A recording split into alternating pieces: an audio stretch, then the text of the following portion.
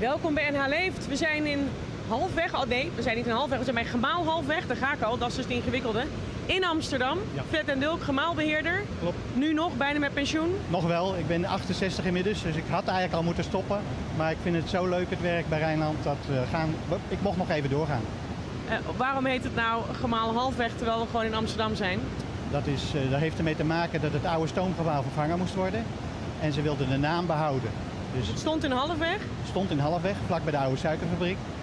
En is toen verhuisd naar Amsterdam, omdat er ergens anders geen, geen mogelijkheid was om een nieuw gemaal te bouwen. Lekker verwarrend. Typische ambtenarenbeslissing lijkt me. Dat klopt, daar heb je helemaal gelijk aan.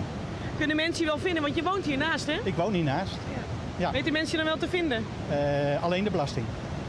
ja, precies, ja. Ja. Nou, en we zijn hier om een bijzondere reden. Namelijk, het is zaterdag vismigratiedag. Klopt. Dat die nou ook een eigen dag hebben, hè? Ja, nou, eh, dat verdienen ze. Ja? Ja. Waarom? Eh, met name spreken we dan over glasaaltjes en stekelbaasjes. Maar met name de glasaaltjes zijn van bijzonder belang. Omdat een glasaaltje leeft in twee habitats. Dat wil zeggen, hij wordt geboren in het zoute water. En hij moet opgroeien in het zoete water. Dus hij heeft twee leefomgevingen. En hij komt helemaal 6000 kilometer hier vandaan. Klopt. Uit de Saragossa-zee bij Florida. Dat klopt. En dan gaat hij op een warme golfstroom. Lift hij mee, want hij is natuurlijk heel klein. En gelukkig gaat de golfstroom de goede kant op. Hoe groot is die? Hij is 1 centimeter. Doe eens voor met je vingers, Jaap. Jaap is cameraman van vandaag. Even laten zien aan u thuis.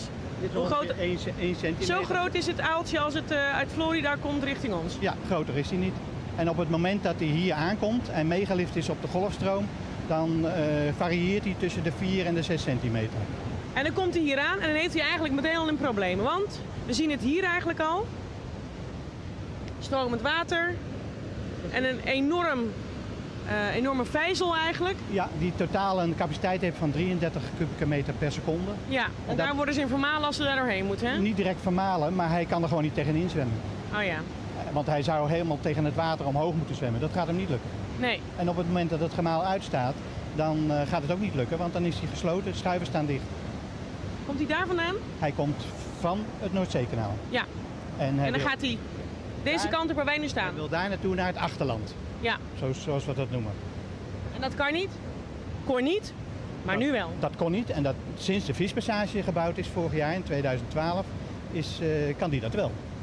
En nu is er dus zaterdag een vismigratiedag. Dat is hier een open dag. Kunnen mensen komen kijken Nou. naar hoe mooi dat wel niet geworden is. En hoe goed het werkt. Zullen we eens gaan kijken? Oké. Want wij krijgen dus een soort eh VIP-rondleiding vandaag. ik hoop het. En er zijn eh, een heleboel aaltjes, als het goed is, al door de passage gegaan. En dat doen ze s'nachts, hè? Nou, je moet rekenen ongeveer een uur na zonsondergang komen de glasaaltjes eigenlijk, eh, nou niet tot leven, maar dan zijn ze uitgeslapen en dan kunnen ze op pad. En dan gaan Is ze... uitgeslapen. Ik, nou, als je kijkt, als je de glasaaltjes gaat observeren, dan is het opmerkelijk hoeveel energie ze hebben. Ja? Ja, ja, dat is opmerkelijk. Ja. En- Leg eens uit. Eh, aan de bewegingen die het zo snel als ze kunnen zwemmen. Soms schieten ze als een pijl uit de boog als ze iets verdacht zien of iets wat ze niet aanstaat. Een, een, een, een- vogel die voorbij vliegt of wat ook, waar ze van schrikken. Dan eh, zie je ze ineens met op, opmerkelijke snelheid zie je ze voorbij komen. Nou, en dit is het eigenlijk, hè? Dit is eigenlijk eh, de passage. Kost 1 miljoen euro, maar dan heb je ook wat. Nee, half miljoen. Oh, half miljoen. Een half miljoen, dus het valt mee. Oh. Ik dacht 1 miljoen. Kom ik daar nou aan? Ehm, hier is dus de vispassage. Ja. En wat we nu proberen te laten zien is eh, hoe de glasaaltjes naar binnen komen. Dat gaat dus, zoals verteld, met eenzelfde soort gemaal als het grote gemaal. Ja. Hij is alleen eh, aanzienlijk kleiner. Het doel van de vispassage is om een lokstroom te creëren. En de lokstroom zorgt ervoor... Een dat lokstroom? een lokstroom. Dat wil zeggen, eh lokstroom is zoet water wat naar het Noordzeekanaal stroomt. En het Noordzeekanaal is eh, niet zout, maar zeker brak. Dat proeven die diertjes. Ze ruiken en proeven dat. En ze voelen waar dat water vandaan komt. En dat is hun, hun, eh, hun doel. Daar moeten ze naartoe. Ja. En En ze komen dus daar vandaan? ze komen daar vandaan en zwemmen dan door de leiding hier. Ja, zullen we het even laten zien?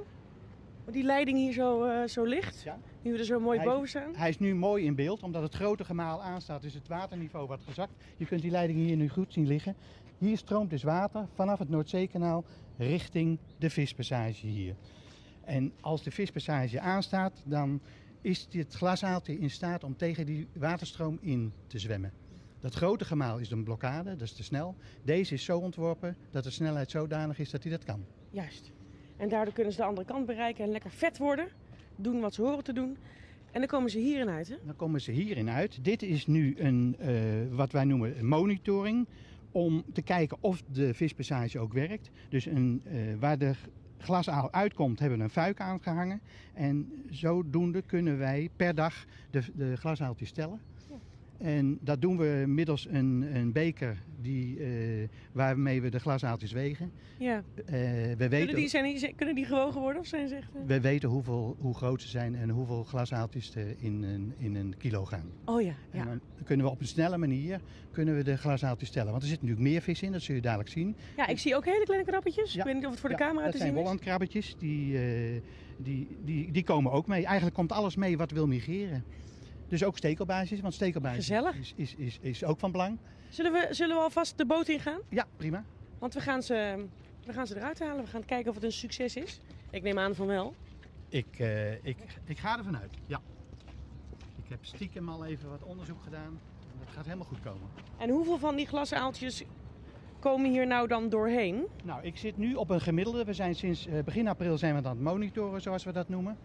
Eh, sinds begin april zitten we op een gemiddelde van ruim 6000 glasaaltjes per dag. Oh, zo pittig. En we hebben een, eh, eh, een, een hoogtepunt gehad op 1 mei. Toen hadden we maar liefst eh 20.000 glasaaltjes.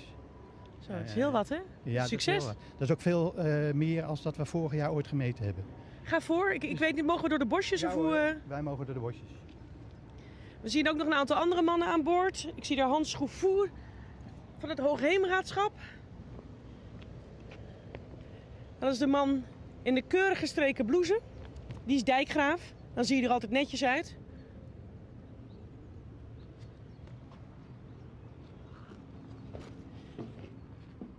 Je moet er wat voor over hebben, hè, voor op de tv.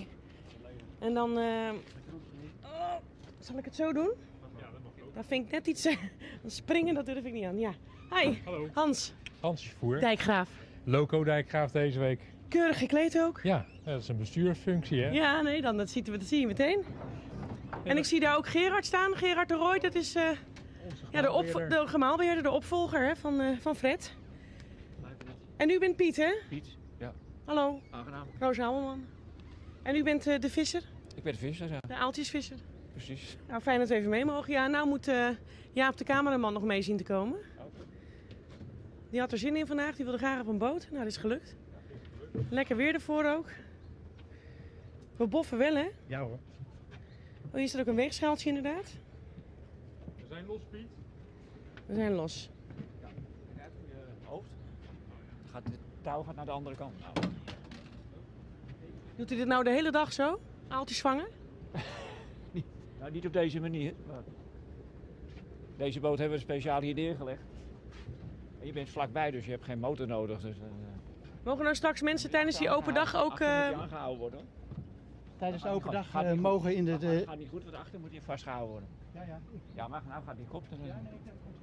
Nee, let niet op. Oh, jongens. Gaan we weer. Ja, ik heb hem. Maar tijdens de open dag mogen mensen dit dus ook doen? Ja, die mogen, we, als ze willen, kunnen ze mee, kunnen ze meevaren. Dat komt goed. Komt, het goed? Komt goed.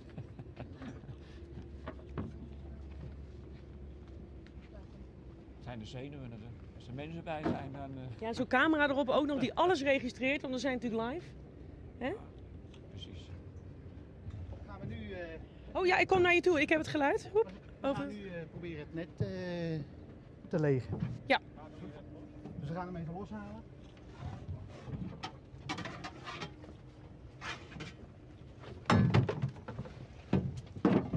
Waar kan ik het beste gaan staan? Ik denk, eh, ik denk dat je hier goed staat. Ik zal deze even weghalen, heb je wat meer ruimte. Als mooi. We hebben geen idee wat we, wat we kunnen verwachten en hoeveel, hoeveel vis er wel niet uitkomt voor hetzelfde geld. Dan ligt die halve boot vol straks. Ik weet niet.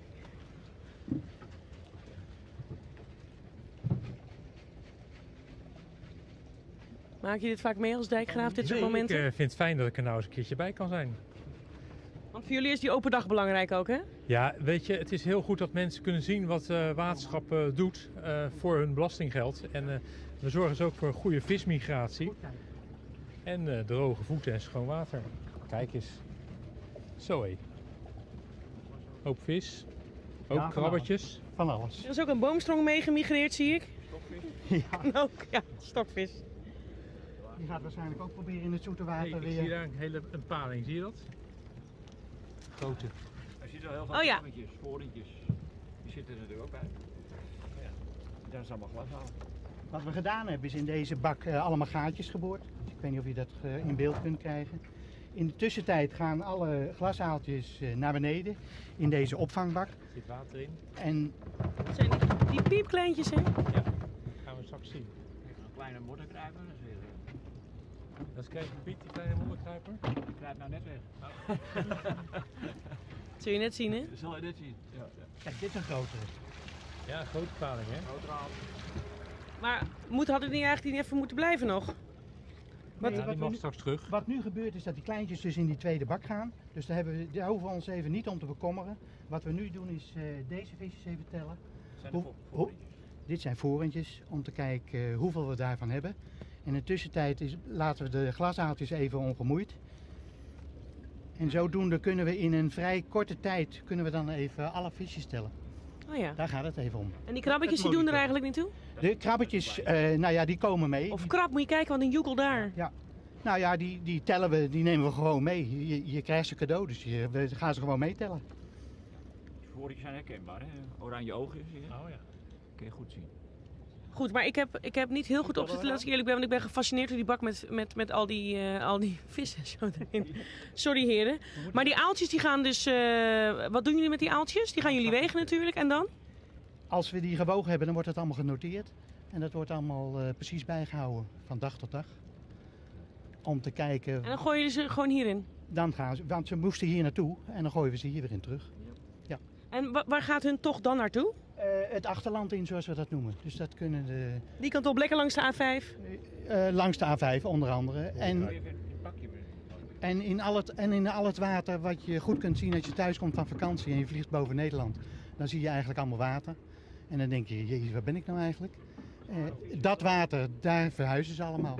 Daar groeien ze op.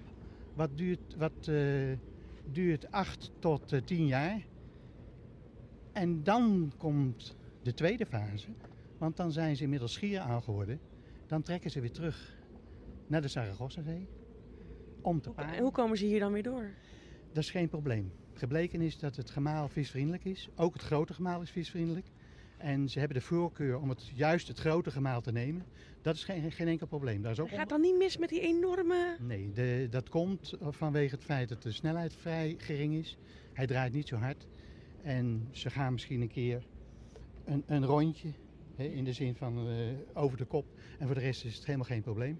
Ik Een heb soort dan Efteling. een, een soort Efteling. Eigenlijk is het een feestje voor ze. Ja. En ik, ik kan je nog verhalen vertellen wat veel interessanter is. Eh, jonge eendjes kunnen er ook door. En, Echt waar? en zelfs een schildpad heb ik al een keer gehad. Echt waar. Ja. Dus Geweldig. Vijzel is frisvriendelijk. Maar dan gaan ze dus terug. Maar wij willen ze ook eten. Op welk moment eh, besluiten wij om er een, een boel uit te halen voor tussen ons broodje? Dat ligt meestal aan de visser. eh, En wat de mensen willen. Welke grootte willen ze. Ja, Wil jij er dus wat het- over zeggen, Piet? Of doe je daar helemaal niks mee? Waarmee met de bedoel je? Nee, ja? Nou ja, met, paling- met de paling. Schiaal. Ja, de, schi- de schierhaal is het natuurlijk, ze moeten volwassen zijn. En ze zijn volwassen. Glashaaltjes, Die gaan natuurlijk weer zorgen dat eh, de toekomst is voor de aal. Hè? Dat, Ja, maar we willen ze ook eten. maar We willen aal blijven eten. Dus Maar ja, dus dat is, een beetje een, dat is natuurlijk een beetje een balans waar we in zitten. Want een, een aantal moet je terugsturen, want die moeten daar gaan paren. ja. Maar een aantal willen we er ook vangen, want die willen we eten. Ja, precies. We hebben natuurlijk gesloten tijd in september, oktober, november. Want de geslachtseibepaling, de volwassen paarden laten zwa- zwemmen. Hè. Die gaan eh, richting Sargassozee. En die paaien daar. En dan komen die glashouders komen dan weer terug. En wanneer mag je ze nu, eh, dus de rest van het jaar, mag je de volwassen palingen die volwassen zijn geworden, mag je vangen? mag je dan wel, eh, wel vissen. Ja. Zullen we doortellen? Want die beestjes moeten gewoon terug, hè? Die, eh, Ja, eh, Mooi. Nou, Jij denkt, dat gaat niet goed zo lang eh, zonder... Ja, ze moeten wel blijven zwemmen, die visjes. Dus eh, we hebben nou een beetje water erin gegooid. En eh, nu gaan ze terug. Kijk, Een schatting van de, we gaan vandaag even... die, snel. die krabbetjes die, eh, kunnen langer op droog blijven. En Moet die, die grote krab zien. Leeft die eigenlijk ja, nog? die leeft nog wel. Ja, ja, ja. De Chinese wollandkrab. Oh ja, kijk. Is die, is die lekker? Die Chinezen zijn er gek op.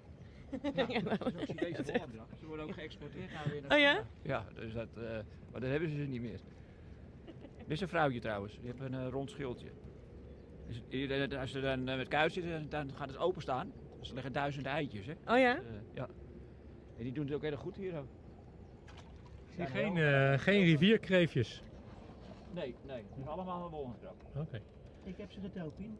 Heb je alles geteld? Wat, Ja. zo ongeveer? Mensen thuis die kunnen nu opletten wel voor de visquiz. Wat, wat voor vis vinden jullie Ja, nou dat is een mooi bruggetje. Ik wilde er eigenlijk al naartoe. Als mensen hier namelijk komen voor de open dag, dan mogen ze meedoen aan de visquiz. En eh, jij hebt alle vragen toch? Ja. We gaan, niet alle vragen, we gaan niet alle antwoorden weggeven, maar ik kan wel even een quizje doen. Weet jij eh, alle antwoorden of niet? Nee, ik, het is, ik, misschien. Zal ik dan... eh, ja, doe eens een vraag. doe mag ik zo vrij zijn? Ja. Even kijken hoor. Even naar de vragen toe. Foto's Er eruit foto's bij. Ja. Dit is een hele makkelijke. Die weet je. Als je goed hebt opgelet net, hè? Voor welk dier is er een speciale passage gemaakt? Nou, dat is voor de glasaal en voor het tiendoornig stekelbaarsje. Oh ja, ja, nou ik reken het goed. Paling is eigenlijk het ja. antwoord hier. Oké. Nou, makkelijk. Dan ga ik gewoon even iets heel anders doen. Het gaat, daar hebben we het helemaal niet over gehad, maar ik, voor hetzelfde geld. Hoeveel grond graaft één muskusrat weg per jaar? Nou, wij vinden het te veel en daarom eh, eh, moeten we daar wat aan doen. Maar hoeveel is het? Ik dacht, Hier. Twee, is het eh, Nou, ik, A? ik denk wel eh, C, 14 kruiwagens voor aarde. Ik heb laatst zo'n nest gezien. En die maken hele lange gangen onder onze dijken en eh, dat vinden we niet fijn. Nee, hè? Nee. Maar ik, ik kan me voorstellen dat waterschappen dit ook niet heel leuk vinden wat hier gebeurd is. Zo'n gat eigenlijk in de, in de dijk, zeg maar. Nou, die vissen. Ja, dat, eh, dat, eh, dat, dat klopt. Maar eh, wij vinden het zo belangrijk dat we dit toch hebben toegestaan. En eh, ja, er zitten ook eh, heel veel veiligheidsmaatregelen.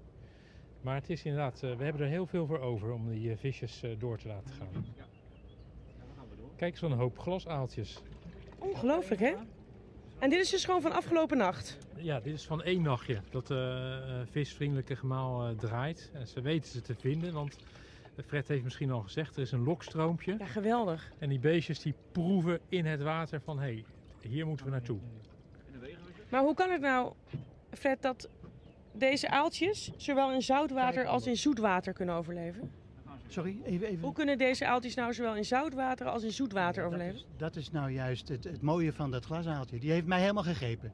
Dat is zo fantastisch dat hij twee habitats nodig heeft om helemaal op te groeien. Dat, dat is eh, ja, door de natuur zo geregeld. En je hebt geen idee hoe dat, Ik, eh, hoe dat komt? Ik ben de laatste twee jaar eigenlijk alleen maar aan het zoeken op internet en te kijken wat ik er allemaal meer te weten van kan komen. Want er zijn nog heel veel onduidelijkheden. Dat is juist wat mij, geboeid, wat mij boeit aan dit glasaaltje. Ik zie Piet wel een beetje knikken, zo van, weet jij het wel? Nou, eh, het blijft nog steeds een mysterie. zeg maar. Oh, zo. Er doet heel veel onderzoek naar. Wat er nou precies daar gebeurt. In die, ze gaan heel diep door de oceaan heen, sommige stukken. En dan weer omhoog. En dan, eh, hoe dat paaien daar precies gaat, weten ze eigenlijk nog niet precies. Er is, Het zijn letterlijk glibberige diertjes, hè? Ze glippen een beetje tussen onze vingers door. Het is een heel klein eh, blaadje eigenlijk. Een larfje komt er tevoorschijn. Dan gaat het met de golfstroom mee. En tegen de tijd dat ze voor de Europese kust zijn, is het een aaltje geworden. Er is recentelijk eh, in april een Deens schip naar de Saragossa-zee geweest om onderzoek te doen. Daar zijn ze een maand bezig geweest. En de uitslag is nog niet bekend. Maar daar ben ik elke avond naar aan het kijken of er al, eh, of er al wat ontdekt is. Ja. Ja, ja. En dat voor een man, begreep ik, die vroeger een beetje bang was voor vis? Ik was vroeger bang voor vis. Ja. Ja. Ik dorst niet eens een vis van een haakje af te halen. Nee, dat en, bedoel ik. en nu laat ik ze heerlijk door mijn, door mijn, hand, door mijn handen spelen. Dat is echt, eh, echt, echt geweldig. Waarom was je er vroeger bang voor? Nou, niet, zo, niet zozeer bang voor vis, maar ja, ik, ik wil geen, een beestje geen pijn doen, weet je. Als je zo'n zo'n haakje zit een weerhaakje aan, dat moet je er dan uittrekken. Ja. Ja, dat is niks voor mij. Ik, eh, kijk, Hoe voelt dat? Mag ik het ook eens voelen? Ja hoor, dat mag je ook voelen. Dat is echt,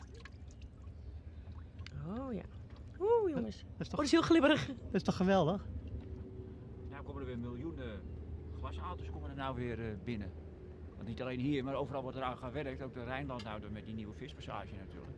In Rijkswaterstaat. Maar overal zijn ze natuurlijk En bezig. hoeveel nieuwe komen erbij? Dat ze weer makkelijker naar binnen kunnen komen. Hoeveel van deze passages komen er nog bij? Nou, er zijn er, er zijn er recentelijk ook. Kadoel is geloof ik één geopend. En eh, ja, er zijn er heel veel op de, op de planning. Ook bij Korrenwerd Zand zijn ze bezig om daar eh Oh ja. vier aan te leggen eigenlijk meer. Oh ja, Naast de sluizen. Dat, eh, dus het is echt een eh, succesvol project gebleken dit. Ja, En het project loopt door tot 2015, begrijp ik Hans? Eh, ja, en we zijn samen met de provincie en Rijkswaterstaat en de andere waterschappen in Noord-Holland bezig om het Noordzeekanaal. Ja, dat is ook een snelweg voor vis. Het is fantastisch hoe dat gaat. Om de zijweggetjes van het Noordzeekanaal, hè, zoals we hier zijn, om daar allemaal passages te maken. En, Maar dat is wel een duur grapje. Ja, dat is een duur grapje, maar dat moeten we ervoor over hebben. Omdat die, eh, ja, vis is gewoon belangrijk voor ons ecosysteem. Dat houdt het water gezond. En hoe gaan we dat betalen met z'n allen? Nou, daar betalen we waterschapsbelasting voor. En, dan, Ah. eh, dat is gewoon goed om te weten dat het goed terecht komt. Ja. Dat is daarvoor. Dat is onder andere daarvoor. Voor ons broodje paling. Nou, niet voor ons broodje paling, maar gewoon voor een gezond ecosysteem. Oh ja. Nou is de zaterdag die, eh, die vismigratiedag. Ehm, wat kunnen mensen dan doen? Kunnen ze hier gewoon zaterdag naartoe komen rijden? Hoe werkt dat? Ze kunnen hier naartoe komen rijden. Het staat heel duidelijk aangegeven. Je kunt ook even op internet kijken. Eh, de weg, wegmarkeringen hebben we vanmorgen uitgezet, dus dat moet allemaal goed gaan. Een hele kleine witte bordjes. Als u nou denkt, ik heb hem gemist. Want wij reden net langs namelijk en we misten hem eigenlijk net. Dus we moeten goed opletten. Zijn kleine witte bordjes. Staat het op voor vismi- vismigratiedag. Hè? Dan moet u die kant op. En voor de rest zijn er filmpjes te zien. Er is een quiz, is maar dat had je al verteld. Eh, er is heel veel te doen. Kortom, kom kijken. En vanaf hoe laat? Vanaf 12 uur tot 4 uur 's middags. Het is gewoon gratis. Helemaal gratis. Daar hou ik van. En eh, u kunt ook een drankje krijgen, een, een, een eh, fris. Er is ook iets voor om te eten. Dus kortom, we hebben er alles aan gedaan om het succes te maken. Alles voor een topdag. Nou heren, wij gaan nog even verder hier. Met het tellen van de rest van de glashalen. Het zijn er meer dan ik dacht dat er zijn. Piet bedankt, Vet bedankt, Hans bedankt. Ja. Heel veel plezier zaterdag. Eh, ja, u heel erg bedankt voor het kijken naar NH Leeft. Heeft u nou zelf ook nog een tip? Denkt u van, hé, hey, dat is- staat een fabriek of zo, daar wil ik eens een keer binnenkijken? Mail ons, NH Leeft, apenstaartje rtvnh.nl. Wij gaan eruit met muziek voor nu. Carina Lemoine. Dag.